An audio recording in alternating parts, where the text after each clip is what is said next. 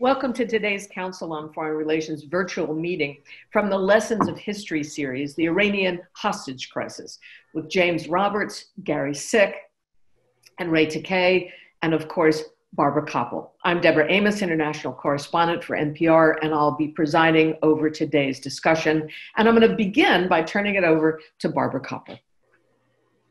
Thank you, Deb, so much.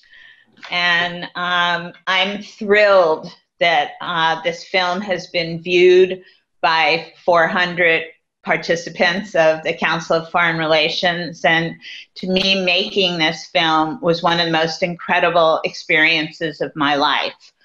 Uh, the film, as we all know, is about the Iran hostage crisis, where you know um, Iranian students took over the American embassy and held 52 people hostage for 444 days.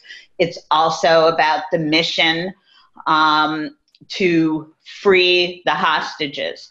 What was so wonderful for me is that I got to really talk to people everywhere, whether it was inside the White House, whether it was the military, whether it was the people on the mission, whether it was people who were held hostages, plus their families, and plus the families of people who who lost people during this mission. I had an amazing team of uh, producers uh, Dave Cassidy, uh, Eric Foreman, a wonderful editor, uh, Francisco Bello, a wonderful animator.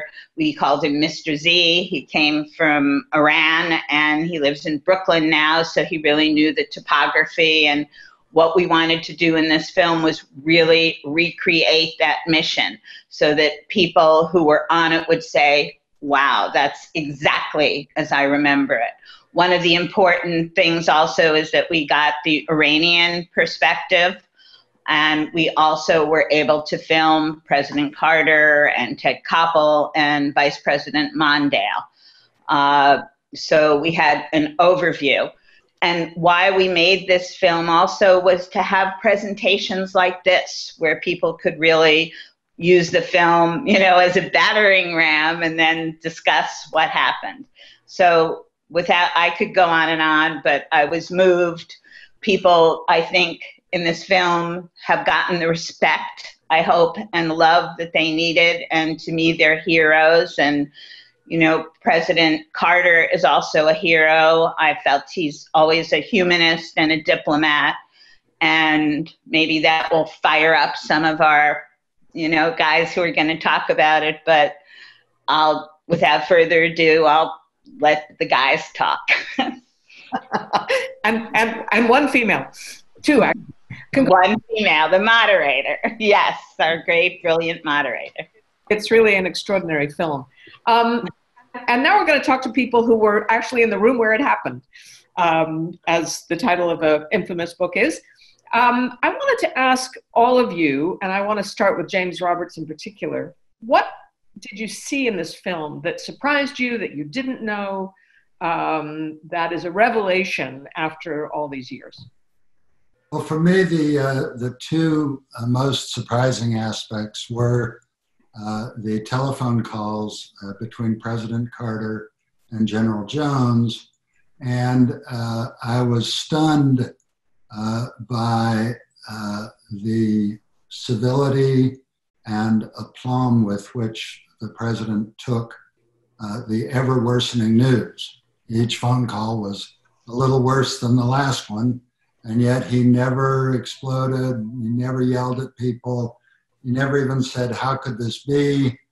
Uh, to me, that was uh, an amazing display of, uh, of uh, uh, uh, holding your temper and being a principle centered leader and not letting your emotions get out in front of you. the second thing that, that I found wonderful was the boy on the bus. Uh, because of course we all saw the 40 people on the bus uh, and they were all huddled together in the sand in the, uh, in the kind of twilight uh, out there in the middle of the desert. And to have him come up and tell his side of the story was just wonderful. And so those were my two uh, the two real learning pieces in the film that, that struck me. And the boy on the bus smiles through his entire interview. He is so pleased to be a part of this remarkable history. And you're right, everything that can go wrong does go wrong. And it's really extraordinary to watch it unfold. Ray, did you see anything that you were surprised by? I think almost exactly the same that Mr. Roberts was was uh, commenting. The discipline which with Jimmy Carter took the news, and as the news deteriorated, uh, and the fact that the landing took place at a location that was supposed to be deserted, but it has so much traffic. It wasn't just the bus; it was the oil tanker that was blown up. It was in flames in the middle of nowhere. Uh, that that kind of surprised me. And also one thing that one of the military officers who participated said he didn't think the mission was going to work because it was so complicated and all the pieces had to move at exactly the same way and exactly in a perfect sort of a synchronicity. And I always thought Operation Eagle Claw was an extraordinarily complicated military logistics. Just as if one flight to Tehran, get the buses, get us switch back. And I think affirmation of that by some of the people was also important it was it was altogether I would say rather an extraordinary film, uh, and, and, particularly the tape conversations that I had not known existed before. And Gary Sick, I'll ask the same question to you.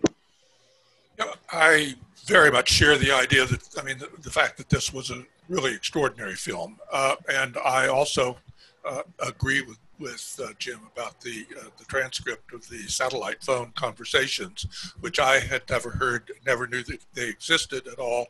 I'd heard both Carter and Brzezinski describe the discussions that went on, but I didn't have any idea that there was a transcript of those. Uh, and the, I guess one thing that I would point to, because I, I share everything that's been said before, uh, and there were some other little bits and pieces in there, uh, bits of film that I didn't, uh, I remembered but didn't know that they existed, uh, including the uh, sweep of the operation center when all of us were called in that night when the hostages were taken. And uh, Ted Koppel, no relation to our filmmaker, made a sweep with a team uh, through that room. And uh, I don't think other people realized it was just a, a people around a desk.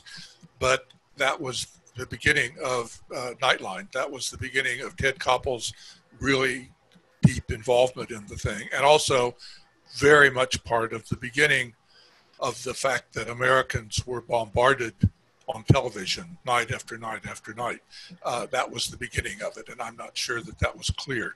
There's one other little point that I would make, which isn't really something new, but I think doesn't get the attention that it deserves, maybe intentionally, and that is that the second helicopter, the one that uh, that basically had a flashing light on its uh, screen and decided that they would have to fly back to the carrier uh, to see what was going wrong and then come back. When they made that decision, and after all, they're flying through a cloud uh, in the middle of the night. Uh, it was heroic just being there. But when they turned around, they were about 30 minutes from the landing site, which was clear. And that was the difference. If they had gone on to the landing site, uh, the outcome would have become very different. The flashing light, as far as I know, was a false alarm. Uh, it didn't, in fact, put the helicopter out of operation. Uh, I've never heard a, a, report afterwards except that it was a fairly common factor. So little things make a lot of difference, and everybody is right, you know, that this was really, really a close thing. And there were lots of moving parts and you couldn't afford for something major to go wrong.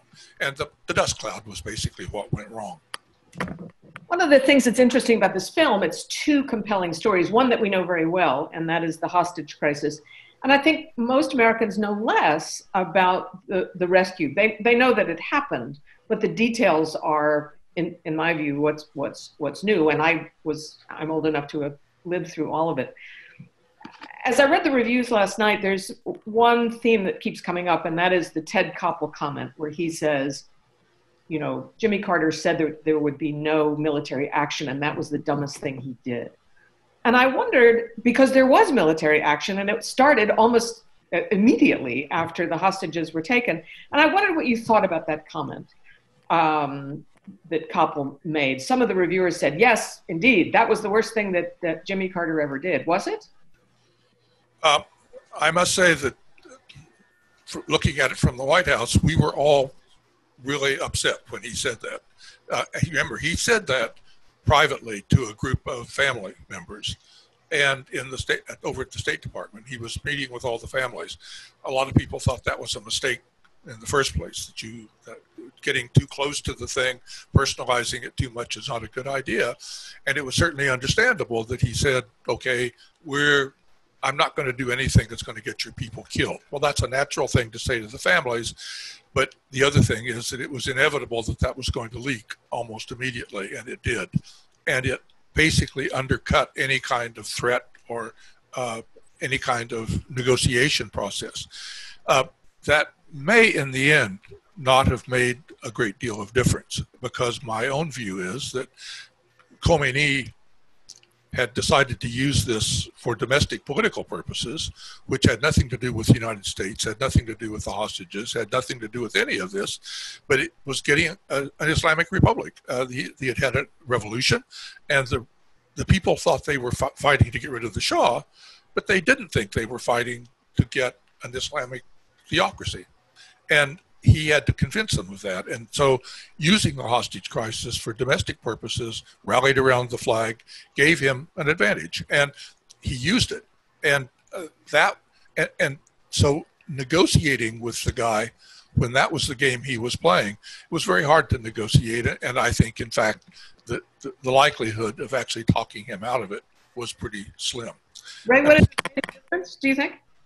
I'm sorry? Would it have made a difference if Carter had left military, the military option on the table? That's what I'm saying. I don't think so, actually. I'm asking if he, he thinks so. Uh, I'm not sure if at that stage. Uh, on November 4th, when 1979, when the embassy was seized, for three days afterwards, Khomeini doesn't actually say anything. He wants to see what the American reaction is if the American reaction was privately saying to him, unless you release them, oil embargo and all that, I think that might have made a difference. He did not take ownership of the hostage crisis for three days, and then Carter started talking about going to the United Nations and so forth. Then he became more uh, more determined to proceed for all the reasons that Gary suggested. But I want to put a little more detail to the domestic situation that Gary correctly attributed the hostage crisis to. In December, during that whole summer and of 1979, there is a constitution convention being created in Iran. And the idea of a supreme religious leader is being introduced in the constitution for the first time. And it's actually very controversial. By November, Khomeini needs a crisis with the United States uh, because a referendum for the constitution that includes provisions for the supreme religious leader is in December 1979. He needs a crisis to galvanize the public, as Gary suggested. And the embassy was sitting there. Uh, I think the at some point, you know, Khomeini would need a crisis with the United States, and the embassy was always available. The question then becomes after December 79, when he gets his constitution with all the provisions in it, why did it go on for another 444 days? And that has to do with other aspects of domestic political situation that Gary talked about. But could Jimmy Carter more robust response have made a difference? Maybe not at the stage where he said three rule on military action, but in the first three, four days, possibly, because once Khomeini took ownership of it publicly, then it's very difficult to reverse because of the political dividends that Gary was talking about. James Roberts, so do you think uh, uh it's the same question essentially, but does Carter get credit for getting all the hostages back alive? Uh, and the, the, deaths come from an accident, not from anything that happens in the field that is kinetic. Right. I think uh, for those of us who were involved in the beginning of the planning, uh, literally a day or two after, so the 5th or 6th of November of 1979, I was called to the Pentagon, uh, did a Farsi language test, uh, volunteered to be part of the effort, uh, from then on, uh, there was a value, an, op- an operational security value to having president say that we weren't going to use any military means uh, because it allowed, uh, if there were little tidbits that came out or little little pieces, it, it gave you some something to fall back on, you know, a story to fall back on if there were some kind of belief. So I think that was important. Uh, and, uh, and there were no good military options. I mean, when you have, I can't remember in the beginning, I think there were 70 plus hostages because the hostage takers released people uh, during the fall. I can't remember exactly how many, uh, but there were many releases during the fall of women and minorities and others, uh, sick people. Uh, but uh, the, the, the, uh, the idea was that all of those people would be at dire risk uh, if you took a military action other than a hostage rescue. And there was no mention of those in the Canadian embassy. Well, thankfully. Yes. Um, I, would like to bring Barbara back into this. Uh, you know, listening to, to all of you, and, and, you know, I remember very well the, the events of those times, but it's now ancient history. It's 30 years ago. Um, and so. 40. 40. 40. we're all older than we were. I think that audiences who you know weren't alive when this happened what what is it that you want them to take away from that? And i'll ask the, the three panelists as well what is it? What is the the message 40 years later uh, on this event? Is this to me? Yes please. Yes okay. Um, i want them to see what people were willing to give up for what they believed in and i think that that's a very inspirational uh, piece right now, right in our country, to see that people really care about each other and are willing to do things that could sacrifice their lives, their families, and everything else for what they feel is right. Uh, also, too, I would love young people to be able to really relate to military because sometimes young people don't relate and they don't understand the rigorousness and the training and everything else that goes into making somebody you know decide to go on this kind of mission. A lot of people have have you know young people have seen this film and really what they're blown away by is the courage of the people and also what the hostages had to go through and the beauty of uh, President Carter. They learned a lot about him through seeing this and also Mondale. There's that wonderful scene that you have with John Limbert, who Kamani walks in and he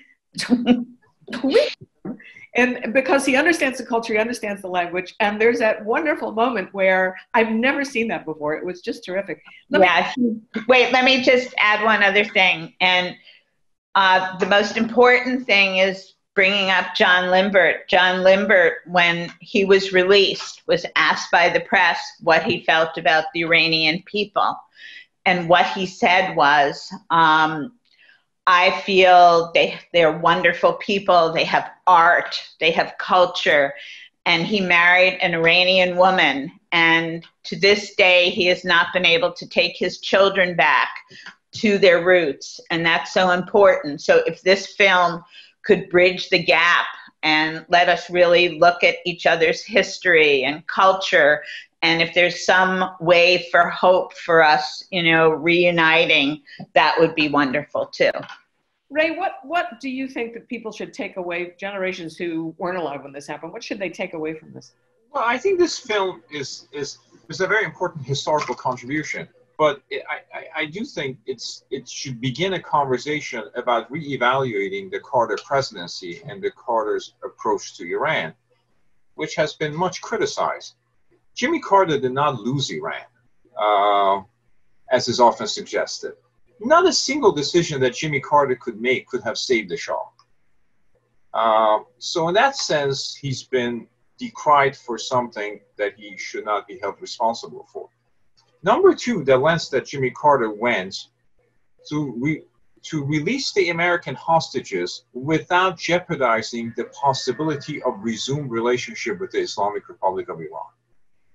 That I think was in the background that we want to solve this crisis, we want to get people back, but we want to do so with two imperatives. Number one, not to essentially hurt any of the hostages, have them killed, but also the subtext is not to do so in a way that could jeopardize a possibility of, as John Limbert suggested, a rapprochement or renormalization of relations with the regime.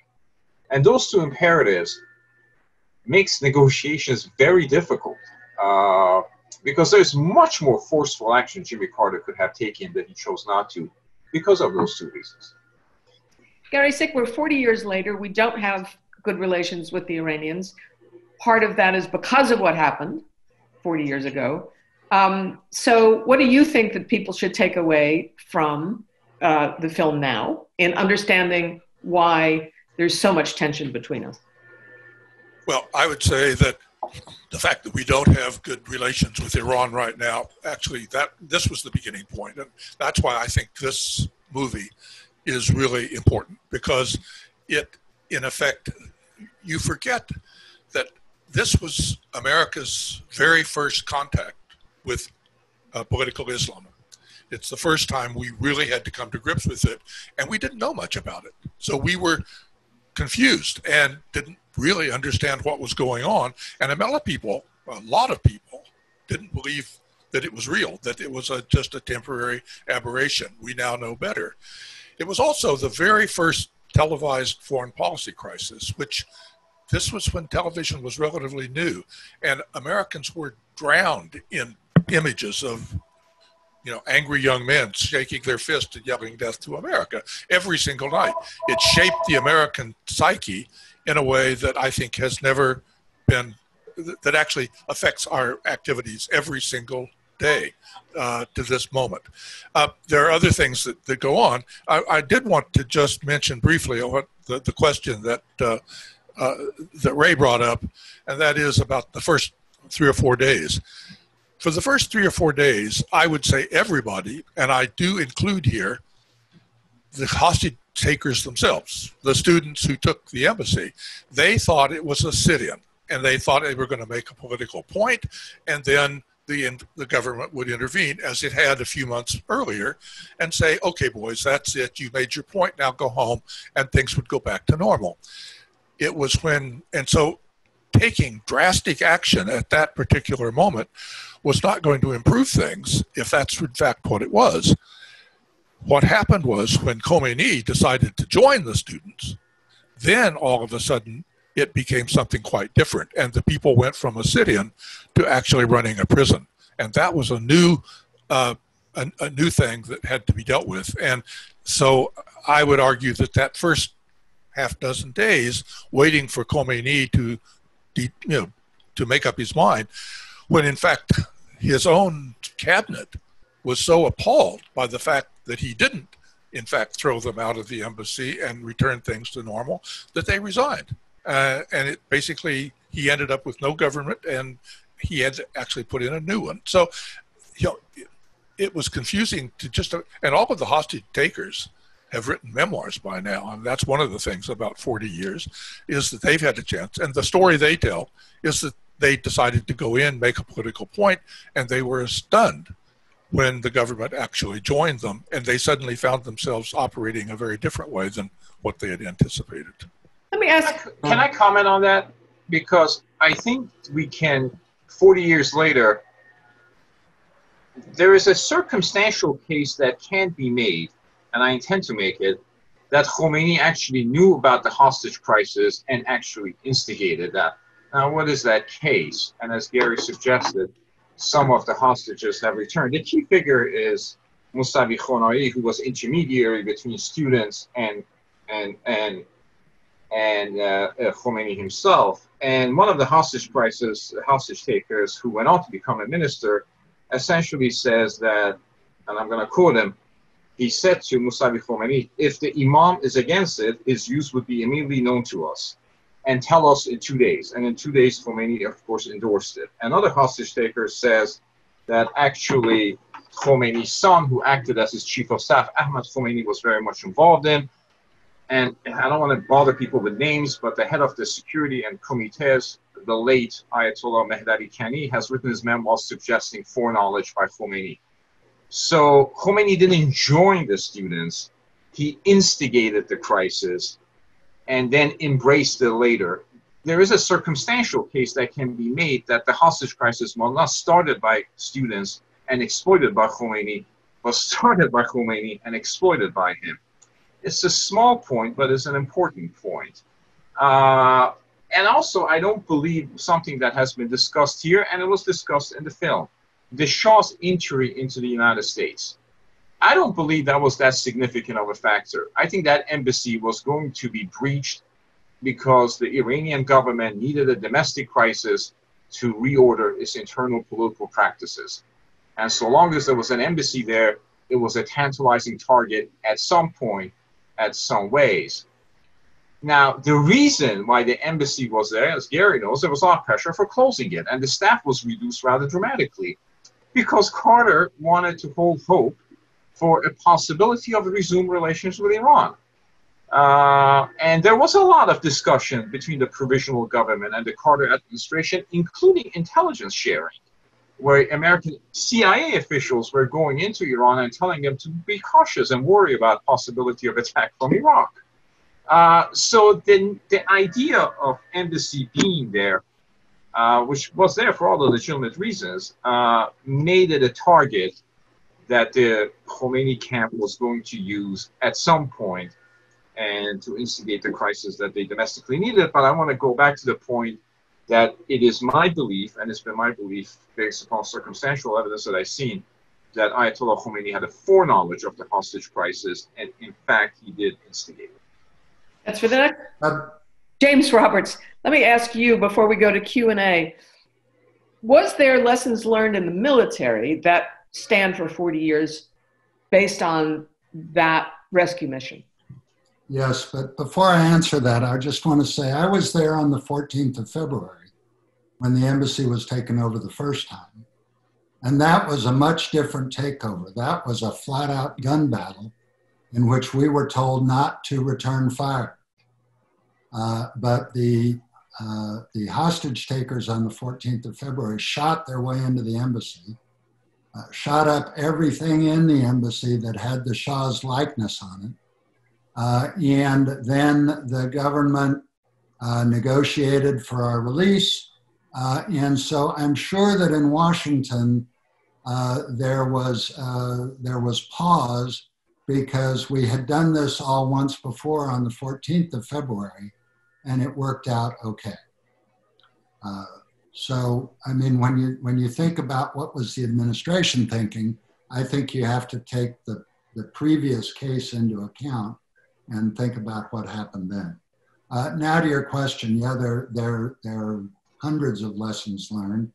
Uh, the two biggest ones, I think, uh, the first one was uh, captured eloquently by uh, four-star General Pete Schoomaker, who was a squadron commander on the mission. Uh, and one of his catchphrases was, never confuse enthusiasm with capability. Uh, and the other one is kind of mine, and that is that fate really doesn't care about the justice of your cause.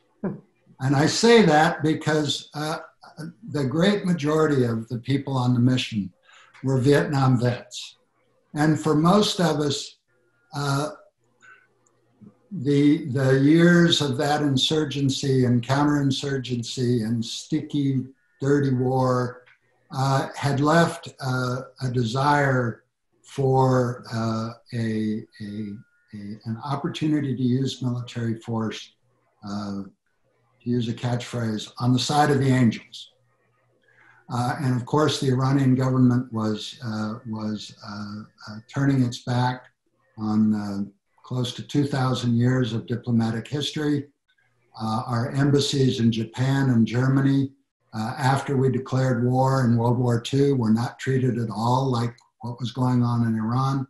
And so many of us thought uh, if there's ever a time to use military force, this is a justified use of military force. Uh, and obviously, uh, uh, like I said, fate doesn't care. The other thing that struck me as kind of ironic is when you listen to the Iranian officials, it's as though they uh, stopped the rescue mission. And of course, nothing could be further from the truth. So for them, the angels were on their side and they turned it into a, into a success. But those are two. Then there are all kinds of technical things about the distance a helicopter can fly and in flight refueling, a million of those. The other big one is uh, you have to have a team where everybody uh, is ready to go the entire distance. And I go back to Gary's comment earlier about the helicopter that turned around. Uh, inexcusable. Uh, they had two, you know, one helicopter sat down inside Iranian airspace. The second helicopter stopped and picked up that crew. They flew on, and that guy was the commander of the helicopter unit. And he turned around and went back to the carrier. So by the time we got to Desert One, we were at six helicopters, and we could have been at seven at least, probably eight. Uh, so uh, everybody has to be in it uh, with their heart and their soul, and you need uh, what the special ops community has today, which is a very high quotient of physical and mental toughness. Well, thank you for that. Um, time, I'd like to invite listeners to join our conversation with their questions. A reminder that this virtual meeting is on the record. Please limit yourself to one question and keep it concise to allow for as many questions as possible. And now we will see if we can pull this off technically, because it's not easy to do. Um, Tegan? Um, we will take our first question from Robert Jervis. Thank you. From Columbia University, a colleague of Gary's. So, uh, one comment, which is I believe the hostages were roughed up and mistreated, which is not what was said in the film. And if that's correct, I'd like it to be confirmed. The question is mostly for Gary, but, but and for Mr. Roberts. Uh, following on his remarks uh, at the end, it looks like both the intelligence was bad and the planning was bad. That is, we shouldn't we have known about the sandstorm and known about the uh, the road, and given the the time we had, why wasn't the group, with all its courage, why wasn't it better trained, better drilled, better prepared? Thank you. Sure. Uh, can you hear me, Robert? Yes. Uh, yeah. Um, the intelligence uh, is always a challenge in a hostage rescue situation because you pray that everybody is in the same building, but you're not sure. Uh, but you're absolutely right. One of the challenges of a, of a, a clandestine special operation is how many people are you going to bring in to read on to the operation uh, in order to gain the knowledge necessary while still maintaining the absolute security because for a mission like this if you if your security is breached uh, in advance you're all going to die. Uh, and so there's this perpetual balance between how many people do we quote read onto the project uh, and how tight do we keep security. And i must say that the task force commanders uh, and the Pentagon and everybody were extremely anxious about this maintaining the operational security for the mission. You're right, there were probably hundreds of US Army helicopter pilots who had flown in Iran down through the decades that we were there and who had encountered Haboobs and who would have been able to give a very good briefing uh, on how to cope in that environment. Uh, they were never consulted. They were never read onto the mission, uh, and so uh, you, we got what we got. Uh, and uh, again, with every special operation, this tension between how many people do you read on, and how do you maintain your security was critical. Uh, and and that was uh, that was a critical shortcoming, without a doubt. Can I say a word, Deb? The first of all, this was the first time out of the chute for Delta Force for all practical purposes. I mean, this was the beginning of American spatial ops and in, in what has turned into this almost superhuman capability that we have today, which is remarkable. And I believe, Jim, I'm not incorrect saying that that was the beginning, that that was really the lessons that were learned in that operation were in fact used. Uh, uh, this. Just a quick word, some people might find it amusing, uh, about the, the, the, the, dust clouds. Uh, the reality is that the satellites, the, they're, you know, Iran, like every place else in the world, has weather stations that are scattered around the country in various key points. Those are unclassified and they broadcast openly and people can read them. So we had access to everything that was being produced. The problem was they just had a revolution. Those hadn't been kept up. A lot of them were not working at all. And so we were reduced mostly to having uh, satellite uh, satellite coverage for the weather forecast. And you may not know, but it's one thing to look at a cloud ver- horizontally. It's something very different to look at it vertically. If you look from above on the satellite, you don't even see the cloud. It just doesn't exist. And it's just a fact of life. And people did know, I mean, there were people who knew about the, these uh, phenomena in the, the south of, of Iran. And in, uh, it's absolutely true. But I think it's also true that they knew about it, but nobody was warning them, you really got to be ready for that. And, and describe what the circumstances were. And I think they really weren't prepared for what happened. Yeah, just one one uh, minor uh, correction. Um, Ten years before uh, Desert One, uh, the U.S. Special Operations community mounted an amazing raid, uh, equally as audacious, or damn near equally as audacious, uh, at the prison camp in Son Tay. And that raid was put together by US Army Special Forces and US Air Force guys.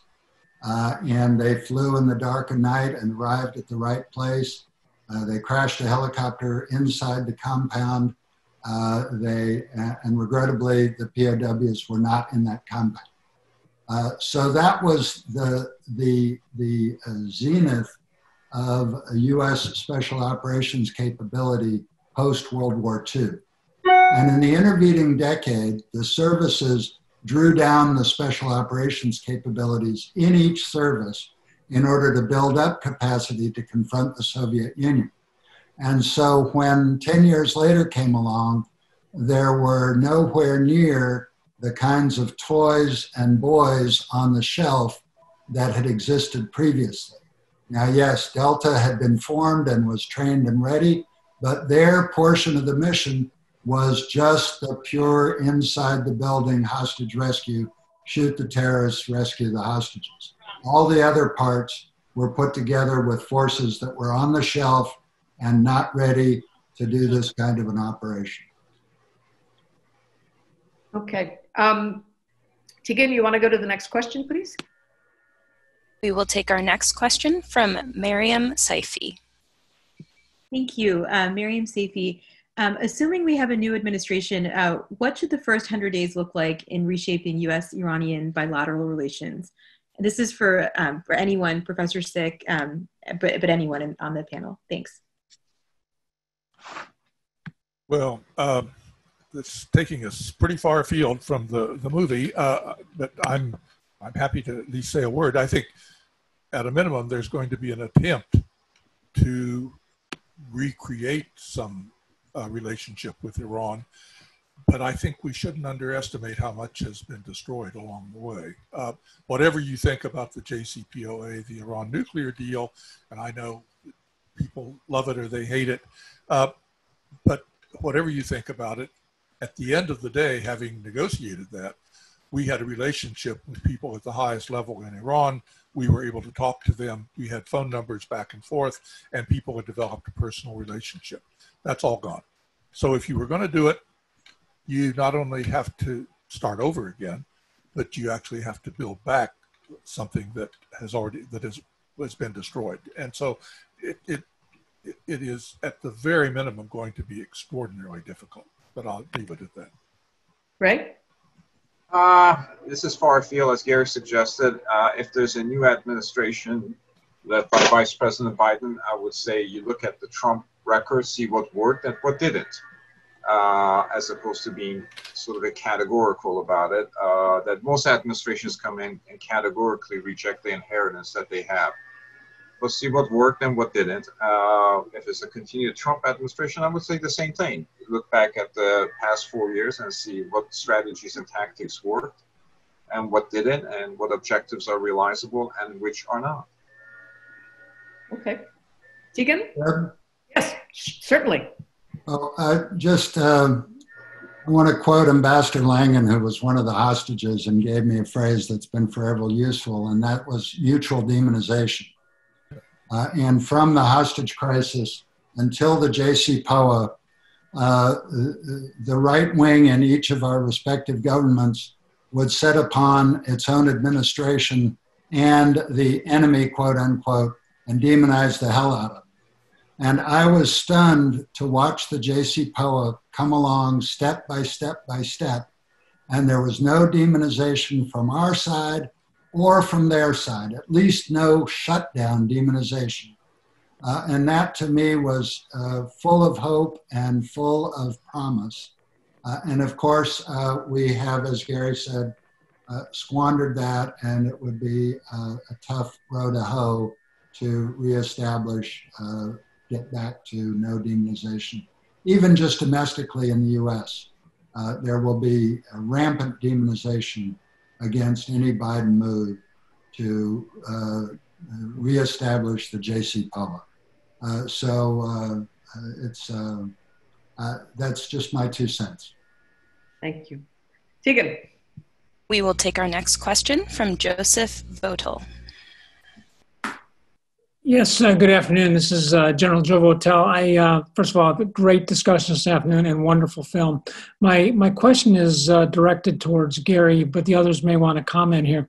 What uh, what observations can you take away from this experience, uh, based on the interaction between military commanders, the president, and the national security staff? what what what did you learn out of this, and what what what can we take away from it? Uh, well, that's an absolutely wonderful question that uh, probably deserves an hour or so uh, seminar uh, for itself. Uh, the one of the things that I was struck again uh, watching the movie was that Carter pushed his military people to come up with a plan. he questioned them at length about it, and then he really stayed back and stood out of the way. And that uh, conversation that he had with the guy, with, the, with, with General Jones at the end, when things were all going wrong, he wasn't jumping in and micromanaging and saying, let's do this or let's do that. He was leaving it up to the folks who had uh, done it. And although you can tell the pain in, uh, in Carter's voice, uh, you can also feel the pain in General Jones, who had to report to him that everything was going to hell and that, and of course, Jones couldn't do anything about it either at that point. It was all being done on the ground. So, you know, there, but the fact that the commander in chief didn't get in and micromanage didn't save the day, you know, and the fact that he was keeping his cool at the end, as admirable as that is, didn't solve the problem. And basically, there's, and this is the point where I think Jim Roberts has it absolutely right that it's you gotta you gotta have the real capability. They never did a dress rehearsal. That came out in the movie, and I think that was huge because those people were actually meeting each other for the first time on the ground in Oman, and operational security is absolutely essential in this, but at the same time, operational security that keeps you from being prepared and working together is uh, catastrophic. And I think that was certainly one lesson that, that we took away from the thing. The other lesson that I take away from it in terms of the, you know, civilian military side is that we, you know, I think we, we've moved a long way since that time. And uh, one, our military has a capability that it didn't have in, in those days. Uh, and it's become almost standard. We, we rely on it almost routine. This is looking at it from the outside. But the same problem is there as far as decision making and how you put the military together with the civilian. And whatever it is, the civilian decisions in this case, we were left with a situation in which everybody came away with a terrible taste in their mouth, and we've had to live with that ever since. And it's part of our life and our relationship with Iran. Ray, Jim?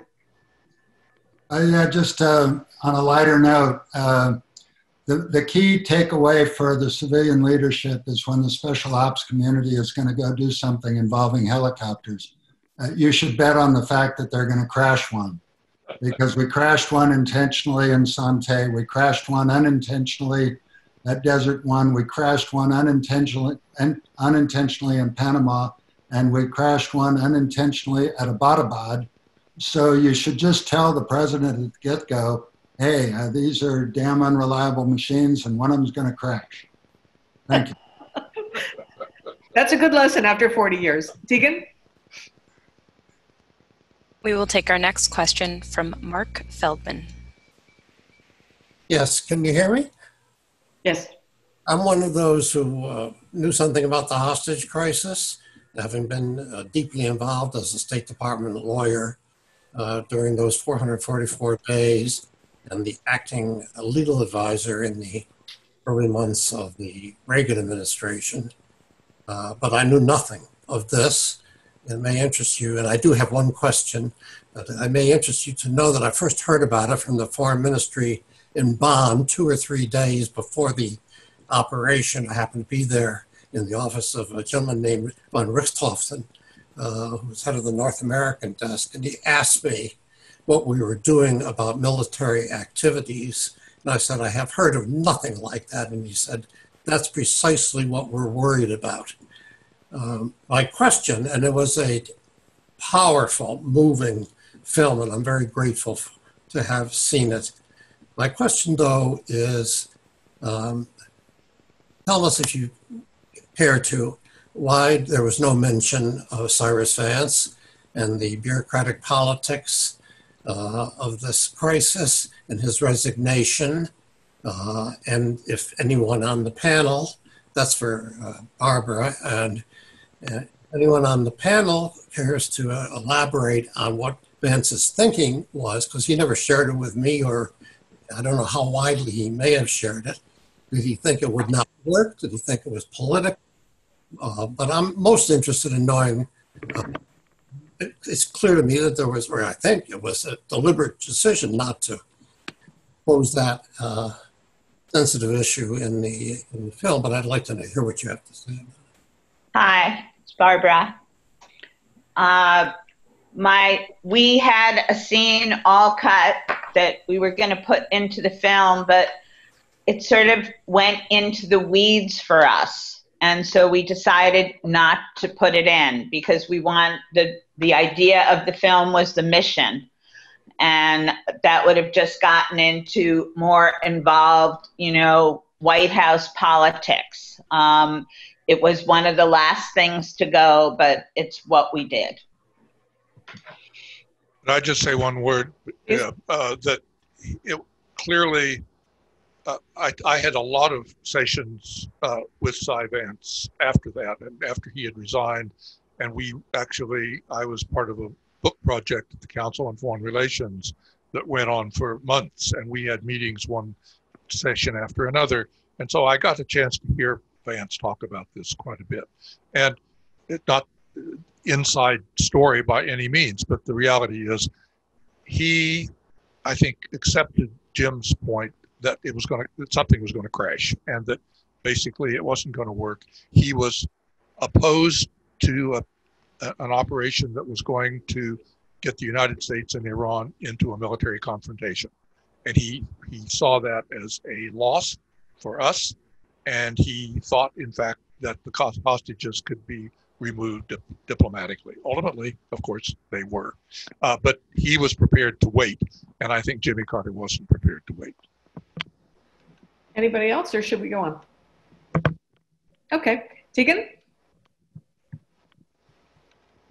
We will take the next question from Britt Farmer. Hi there, I'm Britt McCandless Farmer with 60 Minutes. Um, I think this film really changes perspective of the administration's handling of the situation. And I'm curious to know your thoughts on the impact of the news media on public opinion of President Carter's military response, or perhaps what they perceived as a lack thereof specifically Walter Cronkite's nightly numbering. That's the way it was on this, you know, the 28th day of the hostage crisis in Iran, and what impact that had on how the public perceived the administration's response. Right? Uh, I'll just say one thing. Uh, there are two Carter administration's policies toward Iran, one during the revolution, one during the hostage crisis.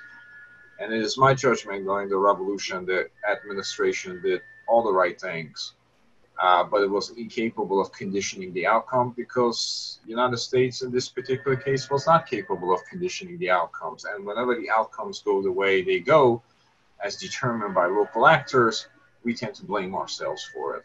His handling of the hostage crisis, well, that that as I said, it could may have been resolved earlier than it went on for 444 days. But then the problem for Carter administration, President Carter's diplomacy and political fortunes was that they were entangled in Iran's domestic political rivalries that Gary touched upon. And once you get into that, then issue becomes impossible to resolve. I do have to say that at some point, as far as the Iranians were concerned, the, during the hostage negotiations, uh, and it's in the book that Gary referenced uh, that was produced by CFR, the Iranians actually did not fear Carter that much during the latter stages of the hostage crisis. And one of the things that Carter negotiators have to were telling the Iranians that you better resolve this issue with us because the person coming after us might be far more belligerent. The person coming after him was, of course, Ronald Reagan and the Republicans. Uh, that reflects to me that the Carter's own negotiators recognize that the currency of his credibility in Tehran has declined rather dramatically. Uh, perhaps no fault of his own, but the, the perception of weakness, I think, mm-hmm. generated from the hostage negotiations that went on as far as they did. Harry, do you want uh, No, I'm, uh, I certainly don't disagree with that. The, the reality is the negotiations, the serious negotiations, all happened after Carter lost the election. Carter lost to Reagan and then set about, like I think no other you know, lame duck president in the history of this country, and spent that whole period between the election and January 21st, literally up until the moment when he took the, when Reagan took the, the oath of office, uh, dealing with Iran. He was a lame duck during that entire period, and there's no question that his credibility with Iran was very low. On the other hand, uh, the one of the things talking about the me, the media and the the effect that it had, there were some there were some things that were missed by the media, and uh, one of the things was, for instance, in the the Algiers Accord that actually resolved the thing. That was the agreement at the end that was done uh, to release the hostages, and in that Iran had Iran had about twelve billion dollars tucked away that the United States had access to. Uh, so we we blocked that, and of that money, Iran got back less than four billion dollars of it.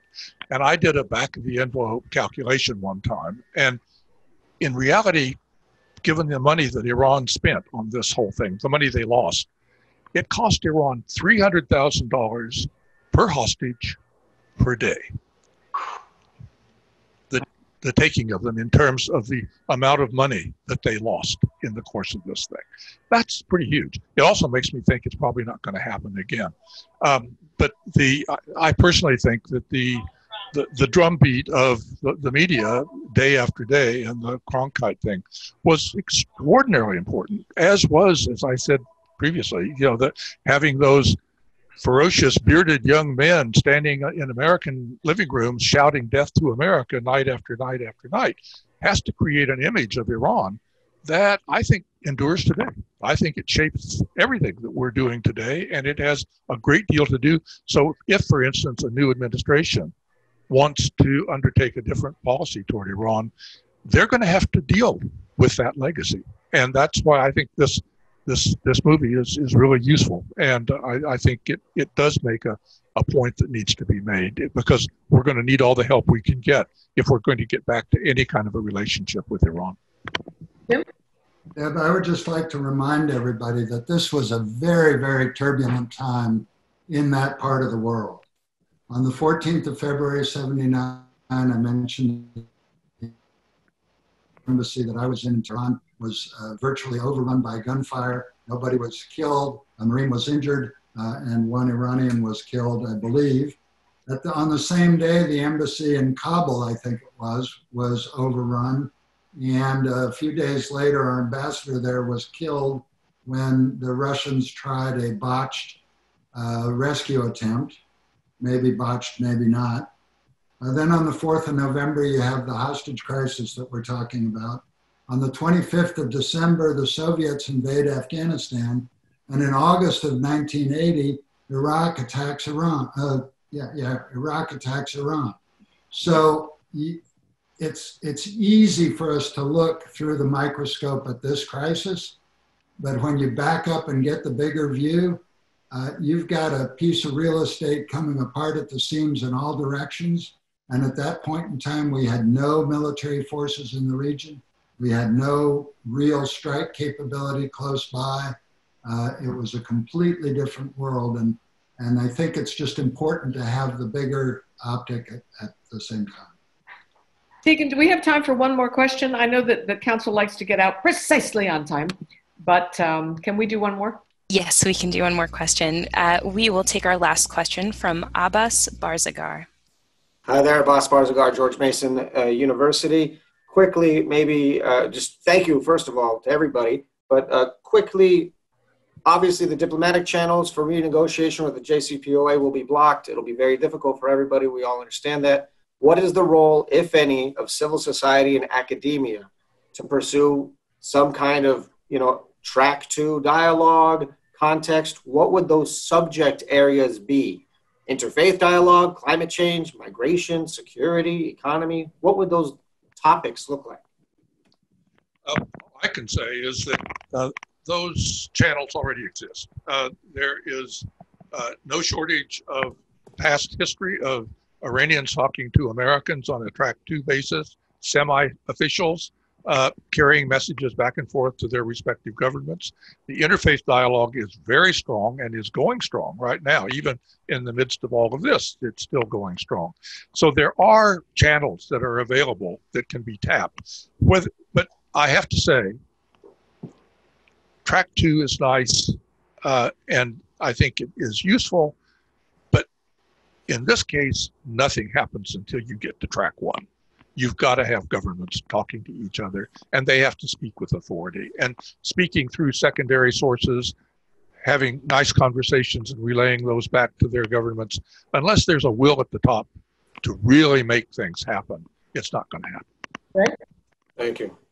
Uh, I would just say that this is a time when the Iranian government routinely and systematically arrests academics and activists that go to Iran.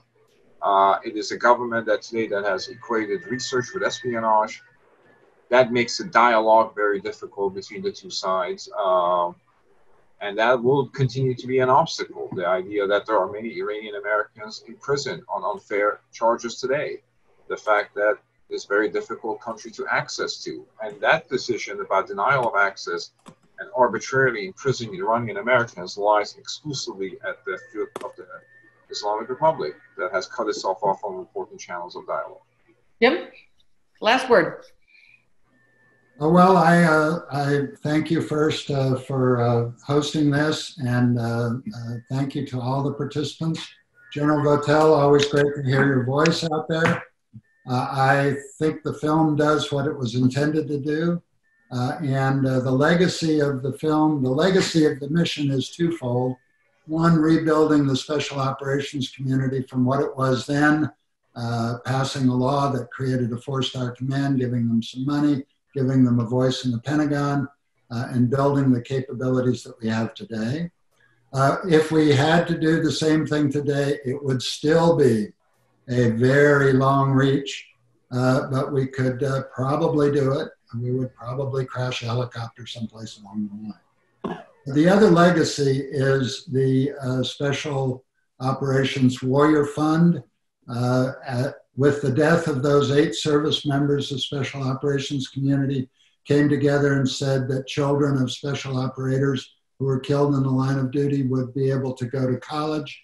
And that Warrior Fund is doing a great job of sending, uh, making college available to all the children of all of the special operators who've been killed in the line of duty since the 24th of April of 1980 until today. So those are two key things that we should remember. That's a great last word. Thank you very much. Uh, and thanks everybody for joining our virtual meeting. I want to thank the panelists. I have a couple of announcements. Please note that the audio and the video of today's meetings will be posted on the CFR website, and the Council will be taking a short break in programming, and events will begin again on September 8th with the Foreign Affairs issue launch. Thanks, everybody. This is a great, great hour. Sorry we didn't have more time. Thank you, Deb. Thank you.